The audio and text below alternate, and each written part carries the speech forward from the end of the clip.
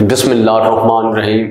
Students ہمارا آج کا لیکچر جو ہے نائنتھ کلاس اور اس میں Newton's third law motion Newton's third law motion میں سب سے پہلے میں آپ کو بتا دوں to every action there is always an equal but opposite reaction Newton's third law motion جو ہے، وہ ڈیل کرتا ہے ایسے اجسام کو یا اس کا تعلق ایسے اجسام کے ساتھ ہے جس میں ایکشن اینڈ ریئیکشن کی بات ہوتی ہے۔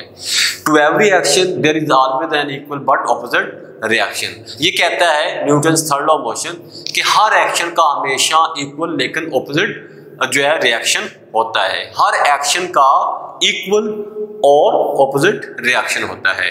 تو دیکھیں ذرا اس کا انٹروڈکشن ہم کہ یہ ایسے باڈیز کو جو ہے ڈیل کرتا ہے جس جن کا تعلق ایکشن ہے ریئیکشن سے ہے۔ سپوز آپ کے پاس یہ دو باڈیز ہیں body A and body B تو ہم بات کرتے ہیں کہ اگر باڈی اے جو ہے وہ بی پہ ایک قسم کی فورس لگاتا ہے اور اس فورس کو ہم ایکشن کا نام دیتے ہیں۔ اگر باڈی اے بی پہ ایک قسم کی فورس لگا رہا ہے تو اس کو میں نام دے دیتا ہوں اس فورس کو کہ وہ ایکشن کی فورس ہے۔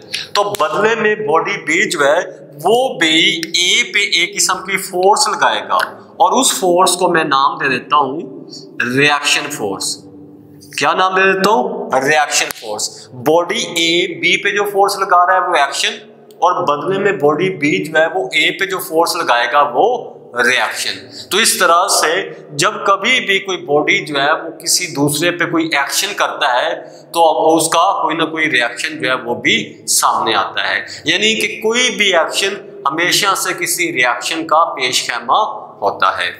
اب ہم اس کو اگزامپل کے ساتھ کرتے ہیں۔ ہمارے پاس تین اگزامپل ہیں اس حوالے سے کہ سب سے پہلے example one a book lying on a table اگر ہم بات کریں کہ ایک بک جو ہے وہ ٹیبل پہ پڑی ہوئی ہے، تو اس میں ایکشن اور ریئیکشن کیا ہے؟ بک کا ویٹ جو ہے وہ ٹیبل پہ عمل کر رہا ہے۔ تو جو بک کا ویٹ ٹیبل پہ عمل کر رہا ہے، یہ ایکشن فورس ہے۔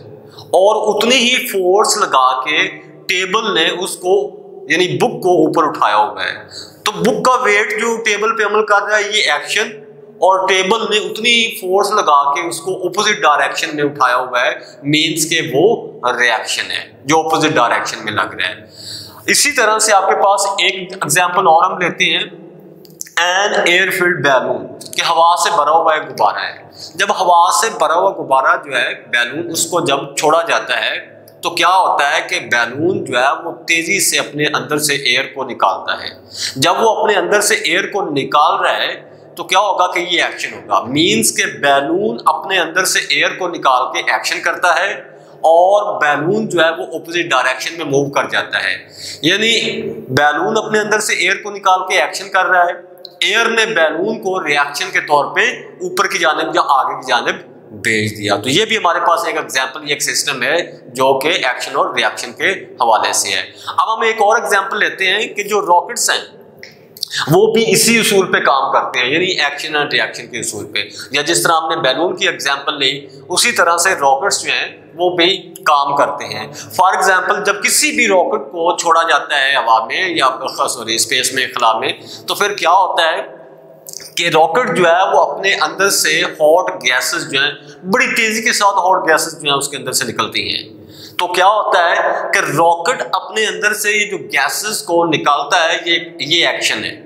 اور گیسز جب اندر سے نکلتی ہیں، ہاٹ گیسز، تو وہ ریئیکشن کے طور پہ اس راکٹ کو جو ہے وہ اوپر کی جانب یا آگے کی جانب بھیج دیتی ہیں۔ تو ہم کہتے ہیں کہ اس طرح سے ہمارے پاس یہ بھی ایک ایگزامپل ہے جو کہ ایکشن اور ریئیکشن کو ڈیل کرتی ہے۔ تو ایک بار پھر سے سنیے گا ذرا بات۔ To every action there is always an equal but opposite reaction یہ ہے اس کی اسٹیٹمنٹ شارٹ کوشچن کے حوالے سے۔ تو اسٹیٹمنٹ جب آپ لکھیں گے تو ایک کوئی نہ کوئی ایگزامپل ساتھ میں ضرور لکھیں شارٹ میں۔ To every action there is always an equal but opposite reaction Hare action کا ہمیشہ اپوزٹ اور ایکول ریئیکشن ہوتا ہے۔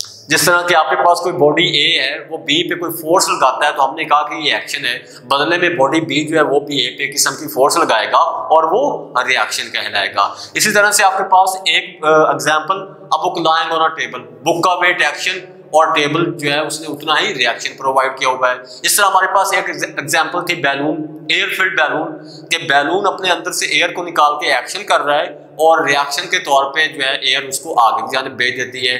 تھرڈ ایگزامپل آپ کے پاس کہ آپ کے پاس جو راکٹس ہیں، وہ بھی اسی اصول پہ کام کرتے ہیں کہ جب ہاٹ گیسز جو ہیں وہ اندر سے نکلتی ہیں تو یہ ایکشن ہوتا ہے. مینس کہ راکٹ جو ہے وہ ایکشن کر رہا ہے ایئر پہ اور یعنی ہاٹ گیسز پہ اور ہاٹ گیسز جو ہیں وہ ریئیکشن کے طور پہ اس کو آگے کی جانب بھیج دیتی ہیں. تو بچے، ہمارا آج کا ٹاپک جو تھا یہاں تک ختم ہوتا ہے. انشاءاللہ نیکسٹ لیکچر کے اندر ہم چل کے نیوٹن سیکنڈ لا موشن کے والے سے بات کریں گے.